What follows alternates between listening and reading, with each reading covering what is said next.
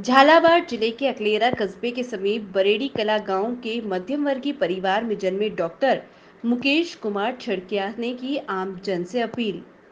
नमस्कार, आदाब, सत श्री अकाल ना मैं कोई अभिनेता हूँ, ना कोई मैं एक नेता हूँ।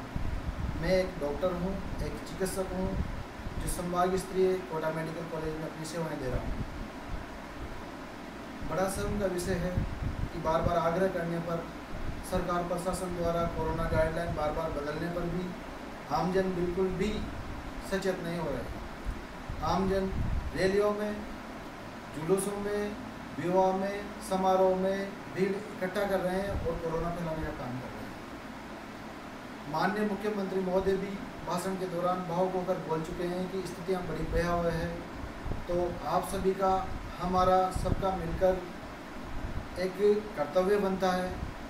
कि हम देश हित में, जनहित में कोरोना की गाइडलाइन की पालना करें मास्क का यूज़ करें सैनिटाइजर्स का यूज़ करें, दो गज की दूरी बनाए रखें और कोरोना संक्रमण की जो भयावह स्थिति है, इसे निपटने में हम सभी एक दूसरे की सहायता करें, एक दूसरे के सारथी बने। आपदा में अवसर ढूँढने वाले जो लोग हैं, उनसे सतर्क रहें। अगर कोई पुलिसकर्मी मास्क ना लगाने पर आपका चालान बना देता है या कोई डॉक्टर हॉस्पिटल पाँच मिनट लेट पहुँचता है तो आप पूरी आपकी नेतागिरी, पूरी आपकी दादागिरी वहाँ लगा देते हो। पर क्या आपने सोचा ये ज़रूरत क्यों पड़ रही है? ये सब हम चिकित्सक बंधु, हमारा पैरामेडिकल स्टाफ, बैंक कर्मी, पुलिस कर्मी, ये सब आपके और आपके परिजनों को बचाने के लिए ही कर रहे हैं। और अभी से नहीं कर रहे हैं। पूरे लगभग डेढ़ साल होने को है कोरोना को चलते हुए बिल्कुल हम निरंतर सेवाएँ कर रहे हैं। मैं खुद दो बार कोरोना पॉजिटिव हो चुका हूँ और कोरोना पॉजिटिव से आप लोगों की दुआ से स्वस्थ होकर वापस मैं सेवाएँ दे रहा हूँ। हम तो कभी किसी से चिड़े नहीं, किसी से हमने कभी लड़ाई झगड़ा किया नहीं, क्या हमारे घर वाले नहीं है, क्या हमारे माता पिता नहीं है, क्या हमारे परिवार नहीं है। साथियों, हम आपके लिए यहाँ डटे हुए हैं, आपकी सेवा में हम तत्पर हैं।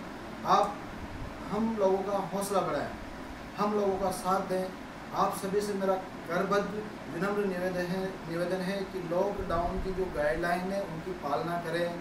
शादी, समारोह, जुलूस, रैलियाँ, चुनाव, अगर आप ज़िंदा रहेंगे तो बाद में भी हो सकता है।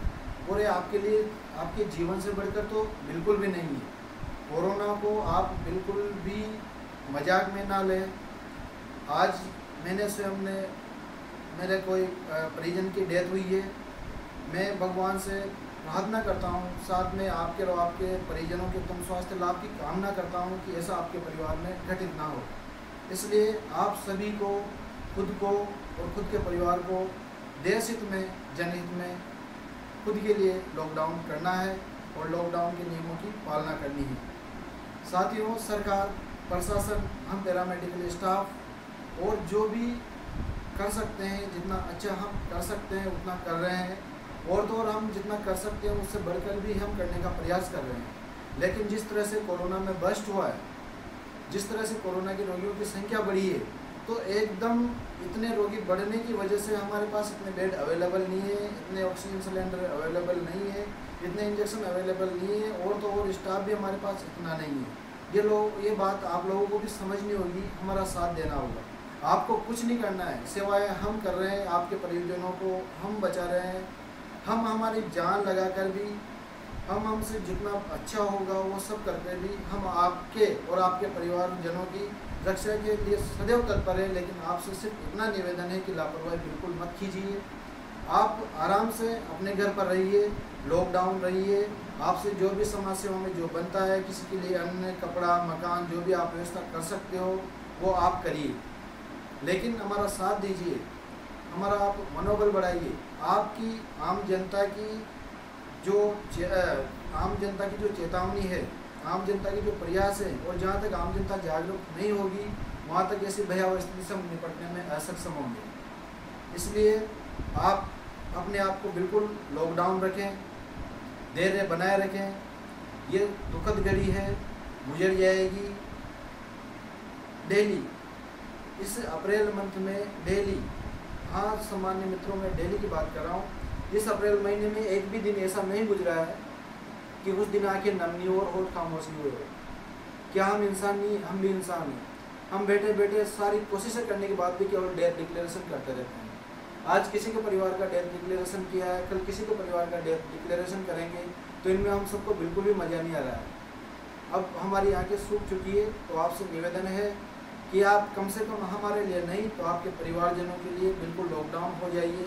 कोई भी चिकित्सा संबंधी कोई समस्या है या कुछ भी है तो डायरेक्ट आप मुझसे कॉन्टेक्ट कर सकते हैं। सोशल मीडिया के माध्यम से मैं आपको नंबर दे दूँगा। लेकिन कृपया लापरवाही बिल्कुल मत बरतिए। शादी, समारोह, जो भी आपके सामाजिक प्रोग्राम है, इनको थोड़ा डिले कर दीजिए। सरकार का, प्रशासन का सहयोग कीजिए। मैं डॉक्टर मुकेश कुमार छड़किया महासचिव, आर डी कोटा। जय हिंद नमस्कार